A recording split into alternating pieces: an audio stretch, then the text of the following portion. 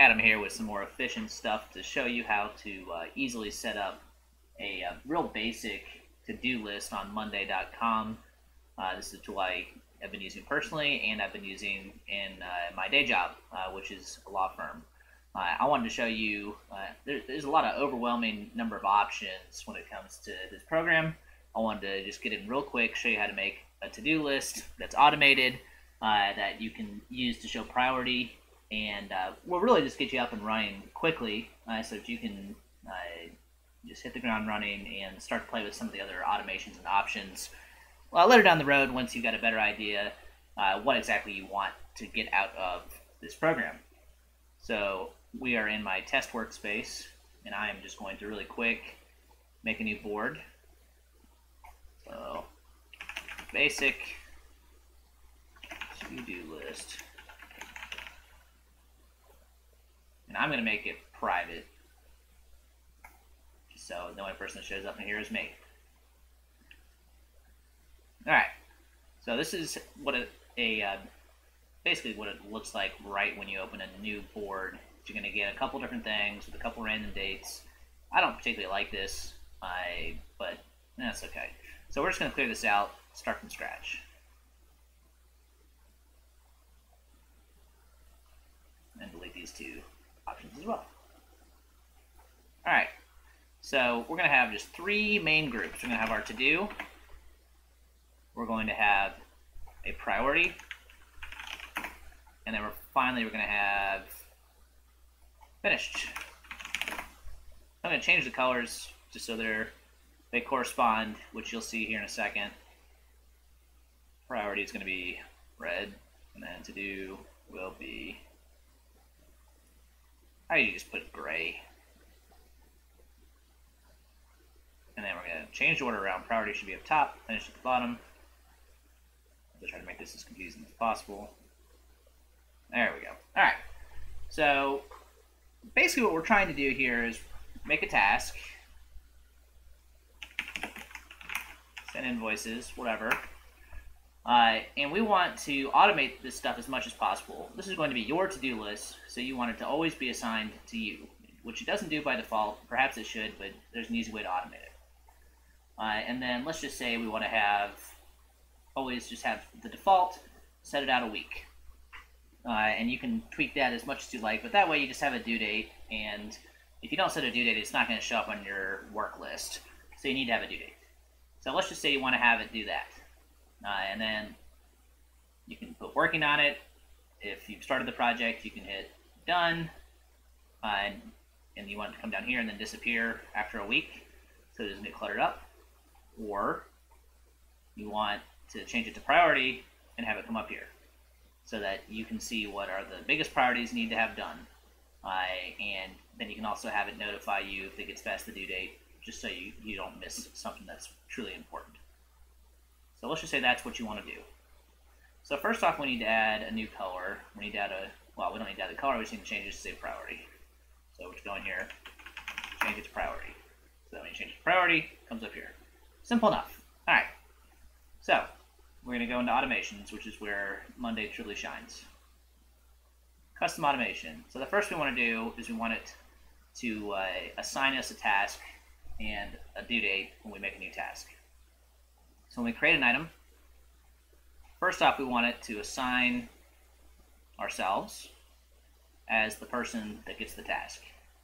Then we want to set the date to today. So it's, it's sort of strange. You always have to set the date to today first, and then you can move the date. So you're going to set it to today, and then you're going to move the date, push the date out by six, seven days.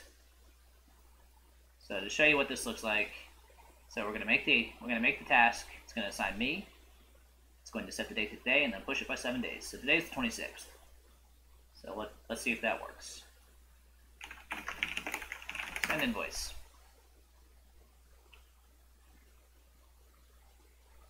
It's a little slow sometimes.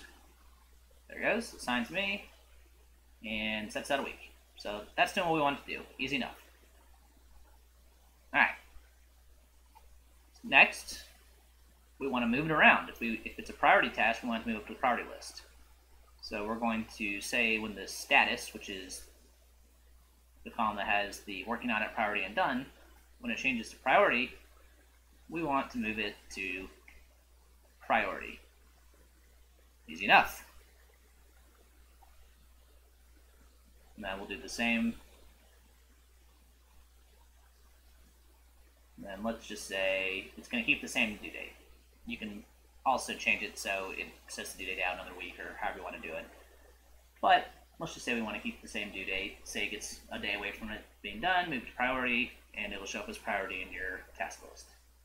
And the last one we want to do, well, well let's show that real quick. Invoice, spell. Then we're going to change the priority. And it's going to move up there. All right. And the final movement we want to have, and I'm going to type it out so you see it first, and then I'll explain how it works, is we want to move to the, the done list, and we want to make it disappear after a week. So we're going to change it when the status changes again to done. Then we're going to move it. So very similar to the last one, move it finished. And then finally, we're going to set the date to today. And I'll explain why we're doing that here in a second.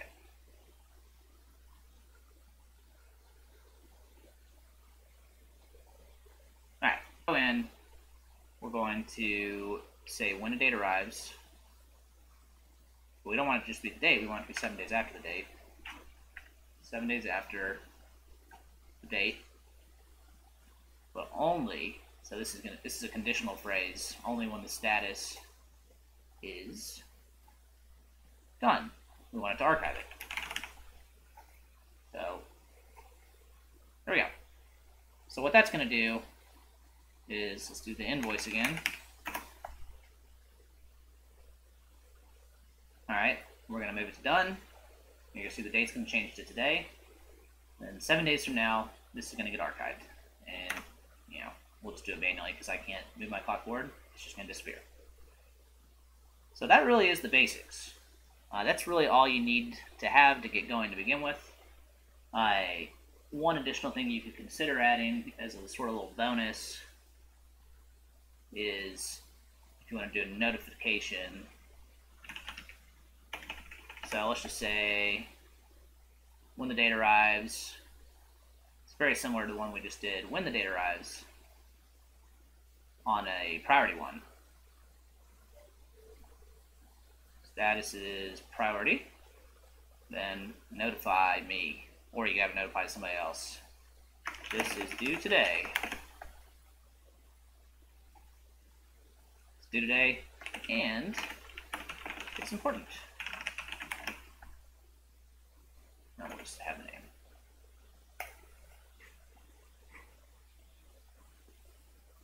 So it's due, you'll get a notification appear in your notifications tab saying it's due.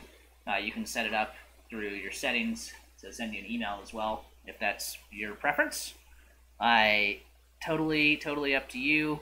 Uh, I just wanted to give you a quick preview of some of the automations you can do, uh, and just to get you started because it really the the joy in this program is being able to move stuff around automatically, have automatic dates. Uh, without the automations, you know, you would get just as much done in an Excel spreadsheet.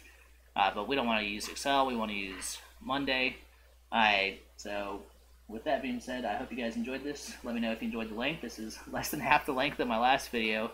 Uh, a little simpler topic. I decided this might actually be a better place for you to start. I, if you have a specific thing you'd like me to cover, let me know. Uh, I'm getting some practical real-world experience with this program, using it within a small eight-person organization.